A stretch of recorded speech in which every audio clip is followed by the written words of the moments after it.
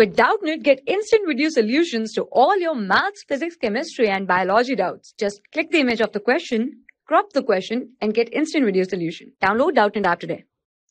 Hello, we are given with a question and the question says the resultant of two vectors at right angles is 5 Newton. If the angle between them is 120 degree and the resultant is root 13, then the magnitude of vectors are what? So the resultant vector is represented by let us say that two vectors are A and B. Right, so resultant is represented by A square plus B square plus 2AB cos theta. The angle theta is the angle between them, right?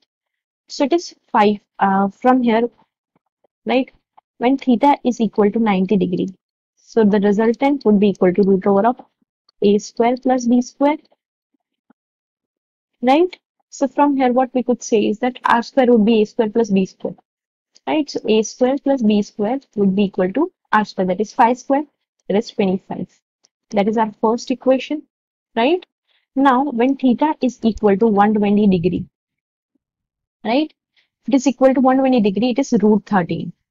So, root over of a square plus b square plus 2ab cos of 120 right? So it is equal to minus, uh, it is equal to half, right?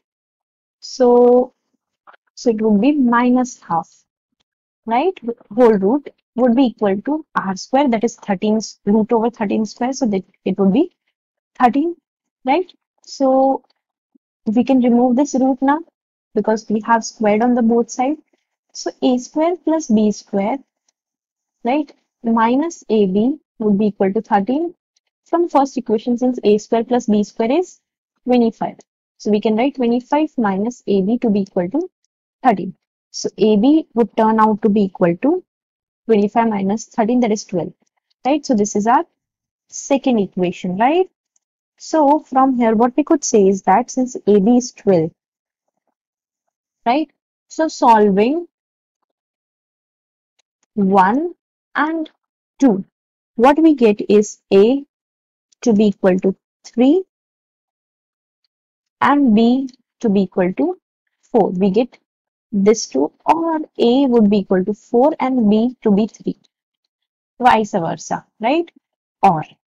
So what we can say is that 3 comma 4 is the correct answer. So option C is the answer. Thank you for class 6 to 12, IIT JEE and NEET level. Trusted by more than 5 crore students. Download Doubtnut app today.